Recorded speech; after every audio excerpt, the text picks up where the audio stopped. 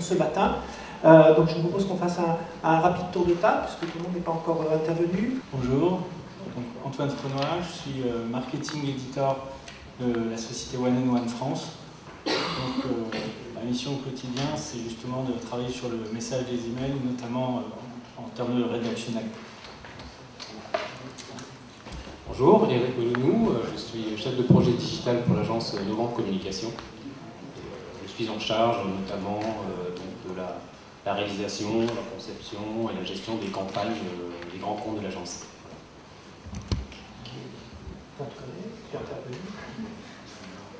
Bonjour, moi je suis Michel Flight, je suis directeur technique chez HappyMail.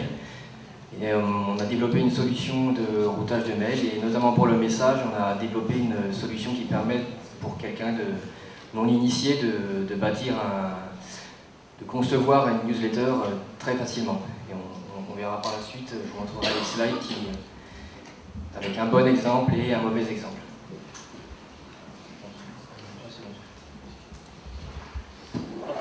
Rebonjour, euh, je suis Vincent Martinet, j'ai cofondé KeyWeb, qui est une, boîte qui édite deux applications, SimpleMail qui est une plateforme d'emailing et euh, Stampilla qui est une place de marché de templates email qui sont déposés par des web designers, donc des templates de qualité sur tout ce qui est newsletter et email transactionnel.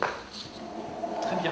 Euh, avant de passer euh, la parole aux intervenants, chacun a préparé quelques slides très courts pour faire un focus sur certains aspects du contenu de l'email marketing.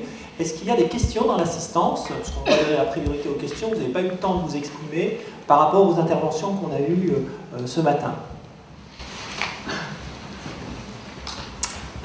Oui bonjour. J'ai deux petites questions. Bonjour. Euh, merci d'abord pour, cette année. J'aurais deux petites questions, pour euh, Vincent Martini, une autre pour euh, Guillaume Fleureau. La première, c'était concernant en fait, la partie, la partie que vous Agile Email Marketing. Et j'aimerais en fait comprendre techniquement comment ça fonctionne, parce qu'à partir du moment où je télécharge mon email dans un webmail, après il n'y a pas de mise à jour possible, à part monter une image en GIF. Comment le système peut, en temps réel par exemple, me donner ma quantité de stock disponible. Alors, je vais répéter la question parce qu'on a des gens euh, dans, la salle qui n'ont pas pu rentrer et qui, euh, comme euh, vous n'avez pas de micro, n'ont pas compris. Donc la question concernait le principe technique d'agile email marketing, comment on peut avoir une image renouvelée dynamiquement, sachant qu'elle est mise en cache sur le navigateur ou des proxys? Alors la question, si honnêtement, si techniquement j'avais la réponse, je l'aurais fait. Euh, donc ça c'est le premier point. Euh, non en fait euh, la société que j'ai citée, donc, qui est Nouvelle qui est la seule à maîtriser cette techno, enfin ma connaissance aujourd'hui. effectivement le, counter le, pour le diffusion des minutes qu'on a vu tout à l'heure c'est du GIF. c'est du GIF. après sur les autres, sous les autres ça fonctionne sous forme d'image également. pour la techno pure, ils ne communiquent pas dessus et je ne pourrais, pourrais pas vous en dire plus. Tout ce que c'est, c'est qu'on l'a testé, que, ça, que ça fonctionne. Euh, donc voilà, je vous invite aussi à, regarder ce qu'ils font, mais euh, sur la technique pure, je ne pourrais pas vous dire réellement comment fonctionne. Enfin, quand je technique pure, c'est pas effectivement de voir comment le code est fait, mais c'est juste de comprendre si je, dois, si je dois gérer en temps réel mon quantité de stock, le fait de charger une fois le GIF, ça ne me permet pas d'aller sur serveur, envoyer une requête et m'envoyer mon quantité de stock moins 1. Alors sur la gestion des stocks, je sais qu'ils utilisent euh, l'API, euh, vous utilisez l'API du CRM pour la balancer les infos. Après, sur la façon, euh, nous, sur ce qu'on a testé, on a plugué directement un CMS e-commerce sur, sur leur interface. Dans, la gestion après, je ne sais pas exactement comment ils envoient les infos et comment générer l'image, etc. Donc, donc ça, serait, ça serait un point que qui pourrait être creusé pour connaître réellement. Mais je pense que si on avait... Euh, si on avait... donner une, idée de technique la mise en place technique de... C'est-à-dire sur la mise en place. bah Justement, une, une, solution qui permet justement d'afficher l'image en fonction de...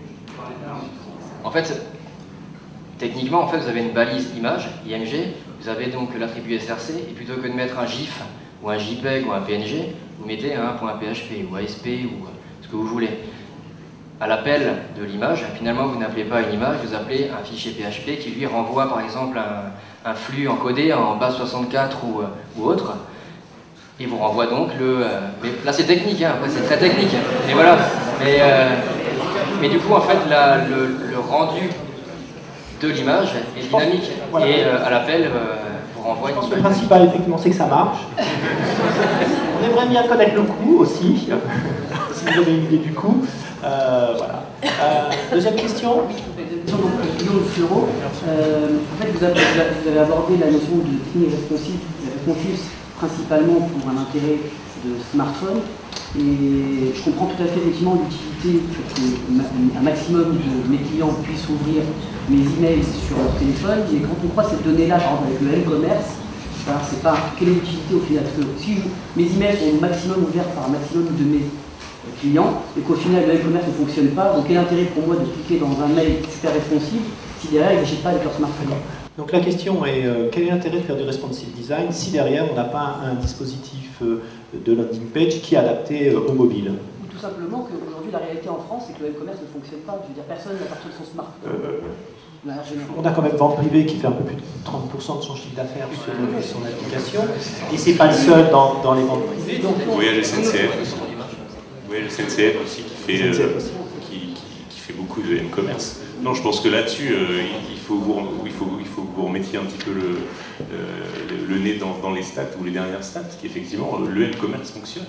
C'est une réalité en France. Bah, d'ailleurs, par exemple, même Amazon propose une, une, expérience utilisateur qui est complètement adapté aux responsives via les applications ou autres. Donc il est tout à fait possible, par exemple, pour, euh, Amazon ou Voyage d'envoyer des emails qui sont responsives et qui vont renvoyer vers une application ou vers un site web mobile. D'ailleurs, maintenant, on n'est même plus en train de se poser la question de est-ce que je mets un lien vers mon site web mobile ou mon site web classique, puisque il existe des scripts euh, très bien faits qui permettent de, savoir si on est sur un smartphone ou pas et d'afficher au niveau du site web et du serveur la version mobile ou la version euh, web classique je pense que aujourd'hui, en fait, on, a vraiment au niveau du responsive design email un retard par rapport au marché des sites web et du e-commerce. Vraiment.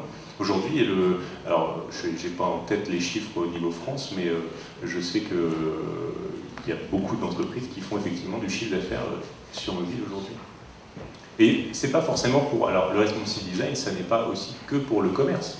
Il y a plein d'entreprises et d'agences qui envoient pour leurs clients des newsletters d'information et ces newsletters d'information ont le droit aussi d'être euh, responsives, parce qu'aujourd'hui, comme je vous le disais dans ma conférence, 3% des gens lisent à la fois sur smartphone et sur PC. Donc en fait, il est tout à fait, euh, enfin, tout à fait important de, le, de, faire du responsive pour tout type de communication email. Merci Guillaume. Bruno, tu as une question? Oui, moi j'avais une réflexion qui était plus sur la le responsive, c'est plus l'adaptation d'un email complet qui soit lisible sur un ordinateur. Est-ce que c'est pas plutôt de sélectionner quel contenu on va pouvoir euh, prendre sur un email qu'on envoie par une mission sur un ordinateur pour le lire sur euh, un portable? Et les exemples donnés, euh, ils sont très très très très longs.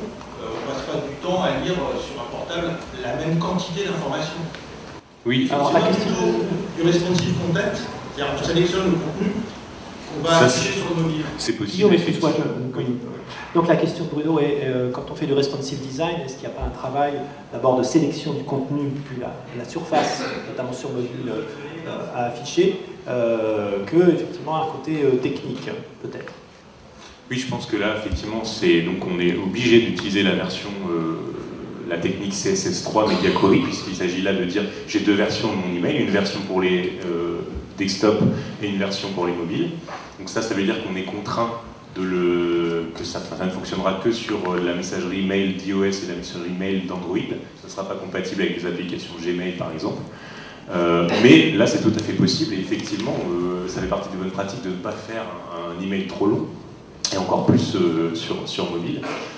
donc c'est possible techniquement. après, il y a aussi des gens qui font du responsive en fait à partir de la base de données. C'est-à-dire qu'on est capable de savoir si un, si un, utilisateur est plutôt un utilisateur, euh, de, un consommateur d'email sur smartphone et donc de faire en amont au niveau euh, base de données un choix pour envoyer tel ou tel email à telle ou telle personne. Mais ça c'est quand même compliqué parce qu'on sait qu'aujourd'hui on est quand même complètement multicanal et qu'on on utilise n'importe quel device pour consommer l'email. Mais en tout cas ça c'est tout à fait possible de faire du responsive content et à ce moment-là, il faut utiliser la technique du CSS3 pour masquer les éléments. Merci. Merci bien. D'autres questions? Mademoiselle? Bonjour, il n'y a pas eu du tout d'évocation B2B, B2C. Aujourd'hui, sur le B2B, comment vous, comment vous, vous placez vis-à-vis du responsive? Comment, question sur le responsive en B2B, comment euh, utilité, pas utilité? Alors, un, peu, enfin pas un peu moins d'utilité, comme je le disais, en fait, vous pouvez tout à fait avoir une version responsive qui ne sera pas buggée. On peut dire je fais mon email responsive et si c'est lu que sur Outlook 2010, bah, ça marchera. Elle ne sera juste pas affichée, la version responsive, parce que mes, mes destinataires en B2B, par exemple, ne seront que majoritairement sur Outlook 2010. On sait qu'iPhone a quand même une part de marché important pour le B2B, donc euh, là-dessus ça nous aide, puisque c'est compatible. Euh, mais clairement, évidemment, le, responsive design a moins de sens aujourd'hui euh, pour le B2B que le B2C, mais ça n'empêche pas de le faire puisque c'est complètement dynamique, ça s'affichera que pour ceux qui effectivement utilisent en mobilité. Merci Guillaume. Autre question? Oui, bonjour, François Mendès et Jeanne, vous avez parlé pendant les interventions de, bonnes pratiques, en particulier de ratio texte-image. On voit tout de même apparaître aujourd'hui une tendance euh, inspirée de Pinterest avec des sites web et des emails il y a de nombreuses images, de très belles images d'ailleurs qui donnent vraiment cliquer. Euh, une réaction vis-à-vis de cette tendance et qu'est-ce que vous préconisez euh, la question est la suivante sur le, rôle des visuels. La tendance serait, dans certaines communications, à, avoir un poids, pas un poids un usage intensif des visuels, sur la mode de Pinterest, etc. Qu'est-ce qu'en pense le panel d'experts? Sur, je, vais, je vais donner une première partie de réponse et je pense que on complétera par la suite. effectivement, le, ça va dépendre après de, du message en lui-même, mais euh, les images donnent envie, donc ça c'est certain, donc on a intérêt à en mettre, mais avec parcimonie, parce qu'il y a une question de délivrabilité qui est derrière et de la livraison des messages. Euh, donc du coup, la, tendance est que, euh, alors le ratio, je crois que de Guillaume c'était 60-40. On peut taper sur du 50-50, mais après ça va, ça va dépendre. Est-ce que vous pouvez préciser 60-40 à quoi?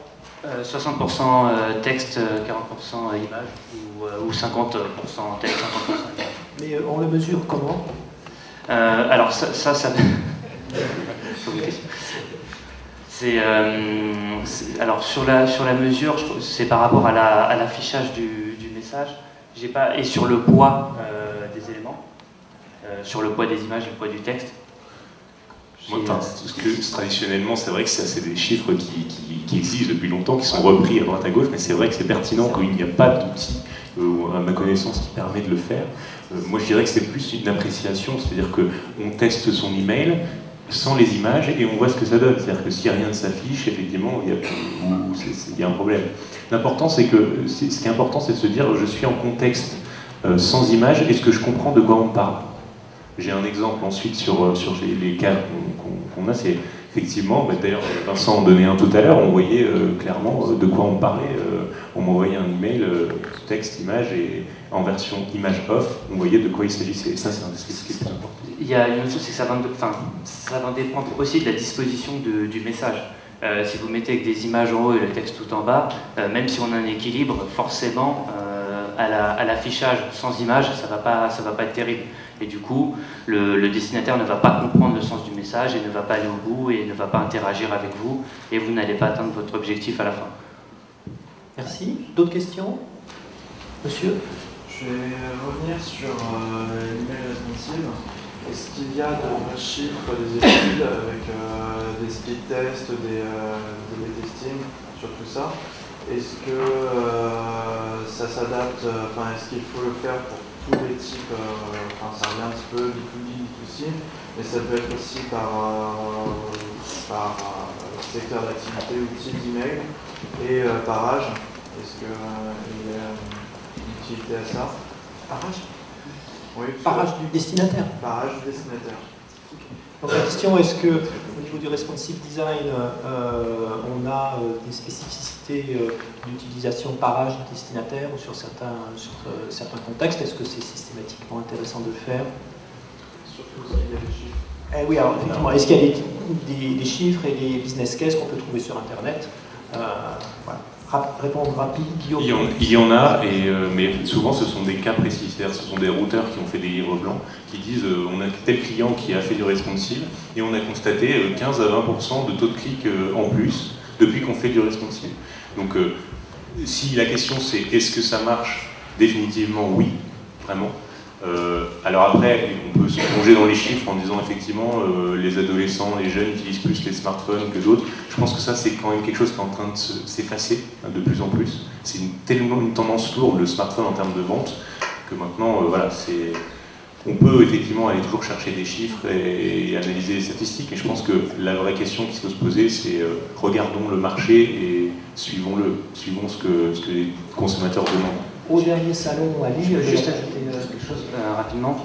Euh, effectivement, bon, la question du responsive, pour moi, se pose quasiment plus, enfin, il faut le faire.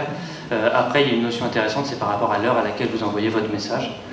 on sait aussi que si vous l'envoyez plutôt tôt le matin ou tard le soir, mais sensiblement, enfin ça dépend, c'est pas une science absolue, une science exacte, mais peut-être plus sur smartphone ou plus sur tablette comme le midi, et puis dans la journée plus sur, euh, sur un desktop normal.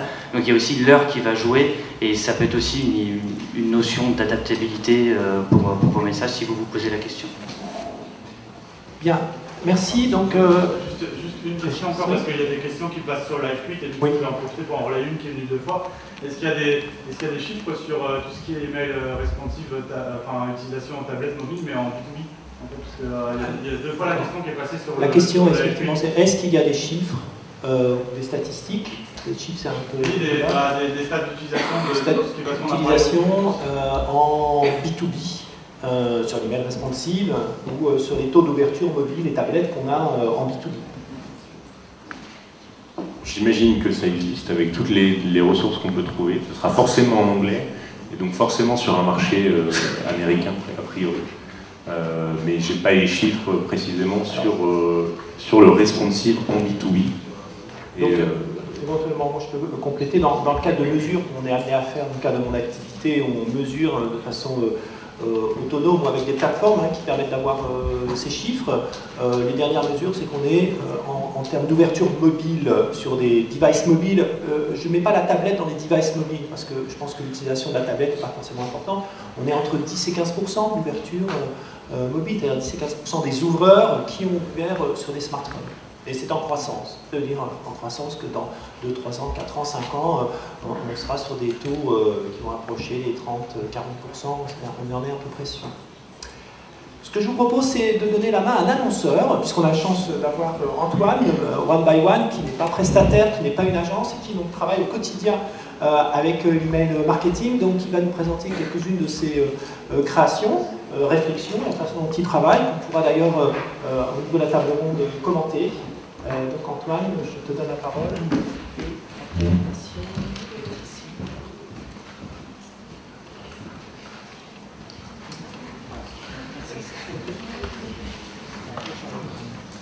Bonjour à tous. je suis Antoine Frenois, marketing editor chez One France. pour le dire brièvement, euh, nous sommes un, grand groupe euh, allemand spécialisé dans l'hébergement de sites web commercialise voilà, également des serveurs, des noms de domaine, des solutions email, des solutions qui permettent aux petites entreprises de créer leur site web sans connaissance technique. Alors, donc nous vendons uniquement sur notre site web, c'est notre euh, canal de vente. Donc du coup, le mail pour nous, c'est un outil fondamental pour euh, stimuler et approfondir la relation client et vraiment euh, provoquer des ventes. Alors, chez nous, on donne une part quand même assez euh, importante au rédactionnel. Comme vous pouvez voir en fait dans cet email, il y a un équilibre entre le visuel et le rédactionnel. Donc tout d'abord, un titre assez impactant, une... Euh, ah oui, voilà. Bon là vous avez, ça c'est les nouveaux domaines, par exemple vous pouvez acheter le point Alsace. Euh, on, a, on, a, parfois aussi des bandeaux défilants pour dire aux gens dépêchez-vous, euh, c'est comme un, un countdown euh, que l'offre est à saisir. Là, en l'occurrence, la possibilité de vérifier si, votre nom est, déjà pris, si vous voulez réserver euh, point, point blog, point bio. Et alors, en fait, on a aussi une façon assez personnalisée d'envisager la relation client par mail, puisque d'abord nos adresses sont toujours des adresses de véritables collaborateurs de l'entreprise qui signent les emails avec leurs photos. Et, l'adresse, ce n'est pas une adresse no reply, c'est-à-dire que vous pouvez répondre aux mails et vous pouvez euh, entrer en contact directement avec une équipe commerciale. Ensuite, euh, vous avez un call to action et euh, les liens vers les réseaux sociaux. Bon, évidemment, c'est un lien vers une landing page, qui est euh, un landing page en l'occurrence de réservation, pré-réservation des nouveaux domaines. Alors les titres sont importants. Bon, si vous voulez, on s'adresse uniquement à des clients. Donc c'est des gens qui connaissent notre, notre sujet. C'est pas comme pour le, le GNV. C'est en l'occurrence, les gens savent qu'une extension, c'est le dernier, euh, la dernière partie d'un nom de domaine. Juste, vous pouvez expliquer euh, DOM et domaine checker Oui, voilà. Bah, en fait, euh, comme je disais, si vous voulez, certains de nos emails ont pour but de, provoquer l'achat parce qu'on explique au client que l'offre va bientôt expirer ou qu'il faut vraiment saisir l'occasion. Et, là, c'est cas. On ne voit pas bien, mais vous verrez, j'ai un autre exemple sera plus, visible. Et en fait, il y a plusieurs zones de clic, c'est-à-dire si vous cliquez ici, ici, ici et ici, à chaque fois vous tombez sur la landing page. On essaie vraiment de... On a à la fois le call to action, mais on, rend un certain nombre de zones cliquables dans notre, dans notre email. Voilà donc un autre exemple. Vous voyez, alors Évidemment, notre objectif, c'est d'être un jour un good sender. C'est figure un jour dans le blog de Jonathan Loriot.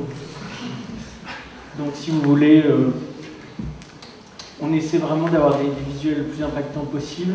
C'est vrai que pour nous, le rédactionnel, c'est un argumentaire de vente. C'est notre manière de convaincre les clients que le produit est pertinent pour eux, qu'il répond à leurs besoins.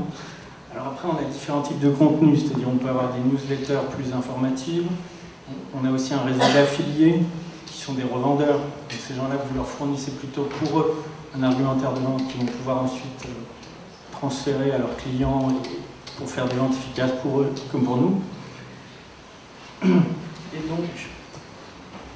Excusez-moi, est-ce que les, personnes qui sont, sont des vraies personnes Eh bien, regardez.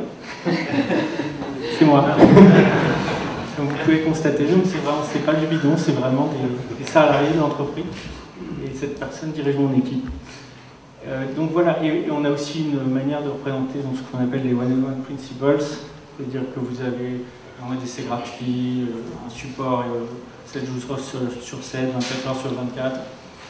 C'est assez important. On s'est mis aussi récemment au responsive design par email. Alors je ne saurais pas vous dire techniquement précisément quel type parce que c'est une, équipe spéciale de techniciens. Nous, on travaille vraiment sur le contenu.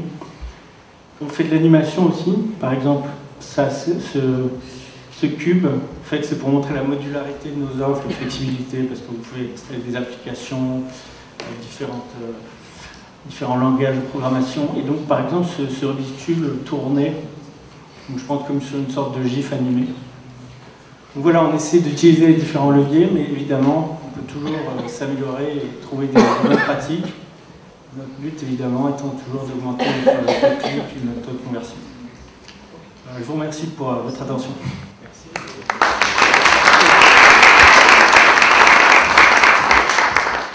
Juste par rapport au, panel d'experts ici présents, est-ce que vous avez des, remarques que vous pourriez suggérer sur l'email présenté d'amélioration immédiate ou vos, avis Moi, j'aurais bien aimé voir la version euh, image, euh, image off, les images qui ne s'affichent pas, parce que quand je vois la, le nombre d'images qu'il y a euh, en haut avant de, voir le contenu, je ne parle pas du contenu qui est forcément, enfin que je trouvais un petit peu trop long à mon goût, mais bon après ça, ça dépend, ça dépend de l'objectif, l'objectif que vous vous êtes fixé, donc c'est vraiment différent.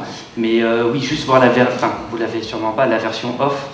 Euh, ça aurait été intéressant parce qu'il y a vraiment, à mon avis, beaucoup trop d'images en haut. Et surtout, si les images ne s'affichent pas, bah, où je vais, qu'est-ce qui va déclencher mon action? Est-ce que, est que mes balises, euh, enfin, l'attribut hâte est bien renseigné, euh, par exemple? Oui. Alors, pour répondre à votre question, évidemment, c'est totalement prévu. on a des versions, donc, quand les images ne s'affichent pas, on a, on a un pre qui qui est bien fait, on a une version texte simple ça s'affiche avec des couleurs, enfin si vous voulez, ça saute pas complètement euh, quand les images ne s'affichent pas. c'est très important. Ça, notre équipe, oui, ces campagnes sont déclinées dans, dans 7 pays européens. On les envoie à plusieurs centaines de milliers de personnes. on fait vraiment attention à tout. Et ça, ça, ça en fait partie. Et après, le rédactionnel, évidemment, c'est un parti pris. nous, pour l'instant, on décide quand même qu'on va apporter de l'info au client. Et donc, on n'a pas abandonné cette idée d'avoir du rédactionnel. Peut-être qu'il faut savoir parfois écourter, ça dépend du type de, mail, de newsletter. on a vraiment parfois des newsletters qui sont assez longs parce qu'on donne des conseils aux gens, presque des tutoriels. Voilà, ça, ça dépend vraiment. D'autres remarques je, les reçois, et généralement je les ouvre déjà parce que l'expéditeur c'est une personne, la part du temps. Ça déjà c'est bien. Euh, effectivement, je les trouve un petit peu longues, mais euh, je dirais que on se pose souvent la question, et ça nous arrive aussi nous, pour nos propres besoins, de est-ce que, on sait que les taux de clics sont quand même le, nerf de la guerre et ça chute quand même pas mal, est-ce que finalement, comme disait les tutos, on n'a pas intérêt à mettre directement dans le mail, parce que la personne a déjà ouvert le mail, ça y est, elle, est, elle est attentive, donnons-lui le contenu, plutôt que de se dire on va mettre des call to action partout pour, leur délivrer le contenu. Donc ça, c'est peut-être une question qu'on doit de plus en plus se poser. Est-ce qu'on doit mettre le contenu dans le message quand on a quelque chose à valeur ajoutée, ou est-ce qu'on doit plutôt considérer que l'email c'est euh, un, moyen d'aller vers un site web et donc euh, le réduire? Oui, euh, c'est une bonne question. C'est vrai qu'on fait un peu les deux. Je vous remercie en tout cas pour vous dites sur les newsletters, puisque c'est moi qui les écris. alors en fait, par exemple, pour vous donner un exemple concret, en ce moment on envoie des, emails d'information pour les gens qui pré-réservent des nouveaux domaines, des nouvelles extensions. Le point Paris, point, blog, il y en a 700 au total. Et donc, pour l'instant, c'est en train d'être lancé avec l'ICANN. Il y a toute une phase de pré-réservation. Ensuite, les gens pourront pré-enregistrer, enregistrer. C'est assez long. Du coup, pour garder les gens, pour conserver leur attention et leur engagement, on leur envoie du contenu. C'est un contenu qui est assez long. Euh, parce qu'on explique vraiment, on est pédagogique, voilà comment fonctionne euh, au niveau mondial, euh, la manière dont on attribue les noms de domaine, et voilà vous, votre place dans ce processus, pourquoi ça prend du temps, etc. Et c'est vrai qu'on a aussi des emails où on, est très court et où on redirige les gens. Et ça, généralement, c'est plutôt des mails quand on veut générer l'acte d'achat rapide. Notamment les emails quand on leur dit vous n'avez plus que 15 jours. Enfin, parfois, c'est l'offre se termine. Donc vraiment, il faut. Et là, dans ces cas-là, on est très bref. Des questions dans la salle par rapport à ce qui a été présenté? Moi, j'en ai une. Est-ce que vous faites des tests? Ouais. dans votre créa Est-ce que, justement, pour euh, identifier, est-ce qu'en mettant moins de contenu ou plus de contenu, on arrive à des performances différentes Est-ce que sur un même test, vous faites ce qu'on appelle du speed testing, pour identifier euh, des stratégies contenu, les optimiser? Et alors, on a une équipe qui, s'occupe spécifiquement de ces aspects. Euh, ce qui est certain, c'est qu'on a des groupes cibles différents et on, adapte aussi euh, le contenu gens en fonction de ces groupes cibles. C'est-à-dire, si vous êtes PME, on ne serait pas la même chose que si vous êtes un particulier ou même parfois géographiquement en fonction de la région où vous habitez. Et après, les, tests ont lieu, les tests AB, etc. Mais pour, pour être honnête, euh, je travaille plus sur le message. Mais je, je, sais que ces tests euh, sont faits. On va finir la table ronde par euh, une présentation rapide, puisqu'il nous reste trois minutes, d'AppyMail, qui est présent ici, qui va nous faire un focus sur... Sur l'attribut Altietza, pour ceux qui parlent alsacien l'attribut alt, rien à voir donc avec altiets. Arrête maintenant, c'est l'attribut alternate. Alors, est-ce que je suis...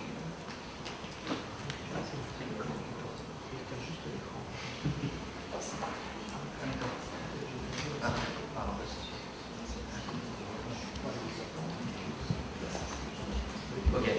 Alors, comme on a 3 minutes, je vais vous présenter une mauvaise Alors quand je vois un mail comme ça, pardon, quand on voit un mail comme ça, ça pique les yeux, ça déchire les vêtements, une machine qui s'ouvre toute seule. Vivez au cœur du marketing, marketing, et puis en dessous, un écran blanc avec une grande image, justement ce qu'on disait tout à l'heure, avec euh, l'email de One and One, qui, est bien faite, j'imagine, puisqu'ils ont renseigné l'attribut alt, ils ont certainement coloré le fond de l'image. Mais ici, c'est white, c'est vraiment blanc de chez blanc.